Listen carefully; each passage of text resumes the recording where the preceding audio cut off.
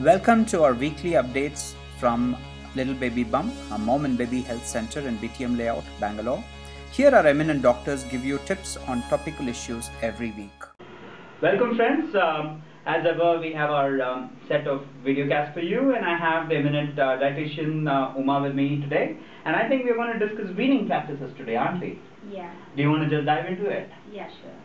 So when we say weaning, like uh, it is more like ideally to say complementary food because weaning, uh, in the sense many mothers uh, like misunderstand in the form like uh, they have to stop the breastfeeding abruptly and start giving something solid. That's very bad. Like uh, it's a wrong habit, and uh, we can ideally say it is a complementary feeding. That means along with the breastfeeding, they have to give something else also because uh, till four to six months of baby's age, the milk will be breast milk will be if, like enough for the baby's development and after 4 to 6 months of period like uh, slowly we have to introduce other foods also so that it helps the baby to grow ideally like uh, like uh, to start with we can say if the mother is not working at home she can very well feed the baby till 6 months of um, the baby's age. And uh, if the mother is working also like we cannot uh, extend uh, beyond 4 months then in that case like uh, can slowly start the weaning foods after 4 months of period so like uh, so uh, for 4 to 6 months is the correct uh, period to start with.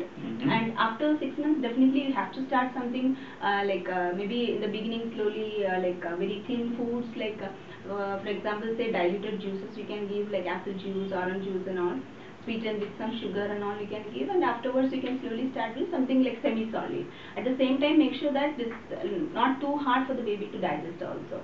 So uh, the time of the feeding is very important and we have to fix up uh, like uh, definite intervals because uh, the baby is going to set the like biological clock according to the uh, timing. So the timing is very important Mhm. and the like interval between the different feedings is also very important and of course the, the what you give is also very important. So all those things uh, plays a major role in uh, giving the weaning foods Great points.